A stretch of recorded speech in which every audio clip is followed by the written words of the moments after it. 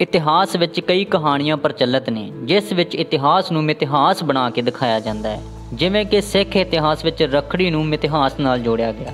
ਪਰ ਰੱਖੜੀ ਸਿੱਖਾਂ ਦਾ ਤਿਉਹਾਰ ਨਹੀਂ ਹੈ। ਕਈ ਲੋਕ ਇਸ ਨੂੰ ਇਹ ਕਹਿ ਕੇ ਵੀ ਮਨਾਉਂਦੇ ਹਨ ਕਿ ਸ੍ਰੀ ਗੁਰੂ ਨਾਨਕ ਦੇਵ ਜੀ ਨੇ ਆਪਣੀ ਵੱਡੀ ਭੈਣ ਬੀਬੀ ਨਾਨਕੀ ਤੋਂ ਰੱਖੜੀ ਬਣਵਾਈ ਸੀ। ਤੇ ਰੱਖੜੀ ਸਿੱਖਾਂ ਦਾ ਤਿਉਹਾਰ ਵੀ ਹੈ। ਤੇ ਇਸ ਦਾ ਸਿੱਖ ਇਤਿਹਾਸ ਵਿੱਚ ਡੂੰਘਾ ਲੈਣ ਦੇਣ ਹੈ। ਤੁਸੀਂ ਆਪਣੇ ਆਸ-ਪਾਸ ਬੀਬੀ ਨਾਨਕੀ ਤੇ ਸ੍ਰੀ ਗੁਰੂ ਨਾਨਕ ਦੇਵ ਜੀ ਨੂੰ ਰੱਖੜੀ ਬੰਨ੍ਹਦਿਆਂ ਤਸਵੀਰ ਦੇਖੀ ਹੋਵੇਗੀ।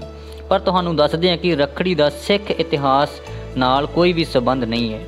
ਅਜਿਹੀਆਂ ਤਸਵੀਰਾਂ ਬਣਾ ਕੇ ਸਿੱਖ ਇਤਿਹਾਸ ਨੂੰ ਮਿਥਿਹਾਸ ਬਣਾਉਣ ਦੀਆਂ ਚਾਲਾਂ ਗੁਰੂ ਸਾਹਿਬਾਨ ਦੇ ਟਾਈਮ ਤੋਂ ਚੱਲਦੀਆਂ ਆ ਰਹੀਆਂ ਹਨ। ਤੇ ਅੱਜ ਤੋਂ 500 ਸਾਲ ਪਹਿਲਾਂ ਕੌਣ ਜਾਣਦਾ ਸੀ ਕਿ ਸ੍ਰੀ ਗੁਰੂ ਨਾਨਕ ਦੇਵ ਜੀ ਕਿਵੇਂ ਦੇ ਦਿਖਦੇ ਸਨ? ਤੇ ਚਿੱਤਰਕਾਰਾਂ ਤੇ ਹੋਰ ਬਨਾਵਟੀ ਲੋਕਾਂ ਨੇ ਉਹਨਾਂ ਬਾਰੇ ਸੋਚ ਆਪਣੀਆਂ ਤਸਵੀਰਾਂ ਨੂੰ ਗੁਰੂ ਮਹਾਂਦਰਾ ਦੇ ਕੇ ਗੁਰੂ ਰੂਪ ਦੀ ਰਚਨਾ ਕਰ ਦਿੱਤੀ। ਤੇ ਉਵੇਂ ਹੀ ਰੱਖੜੀ ਦਾ ਇਤਿਹਾਸ ਸ੍ਰੀ ਗੁਰੂ ਨਾਨਕ ਦੇਵ ਜੀ ਤੇ ਬੀਬੀ ਨਾਨਕੀ ਦੀ ਮਿਥਿਹਾਸ ਤਸਵੀਰ ਬਣਾ ਕੇ ਰੱਖੜੀ ਨੂੰ ਸਿੱਖਾਂ ਦੇ ਇਤਿਹਾਸ ਦੇ ਨਾਲ ਜੋੜ ਦਿੱਤਾ। ਜਦ ਕਿ ਸਿੱਖ ਇਤਿਹਾਸ ਦਾ ਧਾਗਿਆਂ ਰੂਪੀ ਪਿਆਰ ਰੱਖੜੀ ਨਾਲ ਕੋਈ ਵੀ ਸਬੰਧ ਨਹੀਂ ਹੈ। ਅਸੀਂ ਇਸ ਵੀਡੀਓ ਰਾਹੀਂ ਕਿਸੇ ਦੇ ਤਿਉਹਾਰ ਨੂੰ ਗਲਤ ਨਹੀਂ ਕਹਿ ਰਹੇ ਹਾਂ, ਪਰ ਰੱਖੜੀ ਸਿੱਖਾਂ ਦਾ ਤਿਉਹਾਰ ਨਹੀਂ ਹੈ। ਇਹ ਤਿਉਹਾਰ ਹਿੰਦੂ ਇਤਿਹਾਸ ਵਿੱਚ ਬੜੀ ਮਾਨਤਾ ਹੈ ਤੇ ਇਸ ਤਿਉਹਾਰ ਨਾਲ ਸੰਬੰਧਿਤ ਮਹਾਭਾਰਤ ਦੇ ਸਮੇਂ ਤੋਂ ਜੇ ਰੱਖੜੀ ਦੇ ਤਿਉਹਾਰ ਦੀ ਗੱਲ ਕਰੀਏ ਤਾਂ ਹਿੰਦੂ ਮਾਧਿਅਮ ਅਨੁਸਾਰ ਸ਼੍ਰੀ ਕ੍ਰਿਸ਼ਨ ਨਾਲ ਇਸ ਦਾ ਸੰਬੰਧ ਹੈ। ਪਰ ਹਿੰਦੂ ਇਤਿਹਾਸ ਵਿੱਚ ਵੀ ਰੱਖੜੀ ਦਾ ਤਿਉਹਾਰ ਕੋਈ ਇੰਦਰ ਦੇਵਤਾ ਨਾਲ ਵੀ ਜੋੜ ਰਿਹਾ ਹੈ।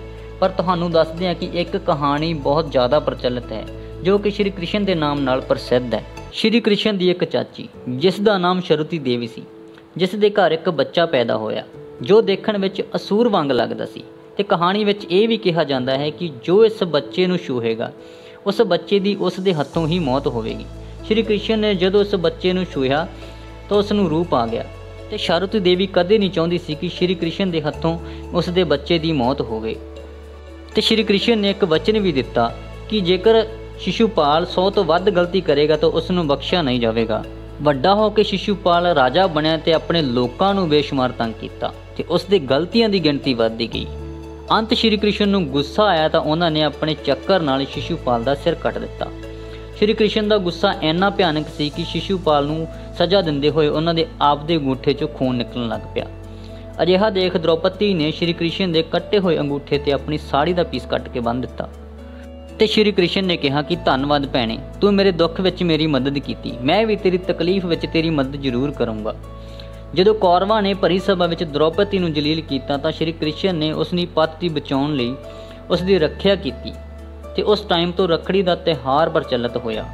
ਭੈਣਾਂ ਆਪਣੇ ਭਰਾ ਦੇ ਗੁੱਟ ਤੇ ਰੱਖੜੀ ਬੰਨ ਕੇ ਆਪਣੀ ਸੁਰੱਖਿਆ ਦਾ ਵਾਅਦਾ ਲੈਂਦੀਆਂ ਹਨ। ਤੇ ਰੱਖੜੀ ਦੇ ਇਤਿਹਾਸ ਜਾਂ ਮਿਥਿਹਾਸ ਬਾਰੇ ਕੁਝ ਵੀ ਕਹਿਣਾ ਸਹੀ ਨਹੀਂ ਹੈ। ਪਰ ਇਹ ਤਿਹਾਰ ਸਿੱਖਾਂ ਦਾ ਤਿਹਾਰ ਨਹੀਂ ਹੈ। ਤੇ ਕਈ ਲੋਕਾਂ ਦਾ ਕਹਿਣਾ ਹੈ ਕਿ ਧਾਗਿਆਂ ਦੇ ਰਿਸ਼ਤੇ ਕਿੱਥੇ ਨਿਭਦੇ ਨੇ ਜਦ ਖੂਨ ਦੇ ਰਿਸ਼ਤੇ ਪਾਣੀ ਹੋ ਗਏ। ਤੇ ਅੱਜ ਕੱਲ ਦੇ ਰਿਸ਼ਤਿਆਂ ਦੀ ਗੱਲ ਕਰੀਏ ਤਾਂ ਸਾਰੇ ਰਿਸ਼ਤੇ ਮਤਲਬੀ ਹੈ। ਭੈਣ ਭਰਾ ਦਾ ਰਿਸ਼ਤਾ ਵੀ ਸਮਾਜ ਵਿੱਚ ਕਈ ਜਗ੍ਹਾ ਤੇ ਮਤਲਬੀ ਹੈ।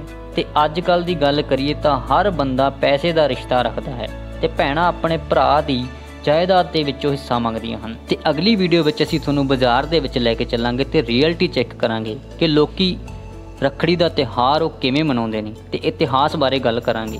ਅਗਲੀ ਵੀਡੀਓ ਦੇਖਣ ਦੇ ਲਈ ਸਾਡੇ ਚੈਨਲ ਨੂੰ ਜਰੂਰ ਸਬਸਕ੍ਰਾਈਬ ਕਰਨਾ। ਨੀਚੇ ਆ ਰਹੇ ਰੈੱਡ ਕਲਰ ਦੇ ਬਟਨ ਨੂੰ ਨੱਪੋ ਤੇ ਚੈਨਲ ਸਬਸਕ੍ਰਾਈਬ ਕਰਾਓ। ਆਉਣ ਵਾਲੀ ਵੀਡੀਓ ਤੁਹਾਡੇ ਤੱਕ ਨੋਟੀਫਿਕੇਸ਼ਨ ਪਹੁੰਚ ਜਾਵੇਗਾ। ਧੰਨਵਾਦ।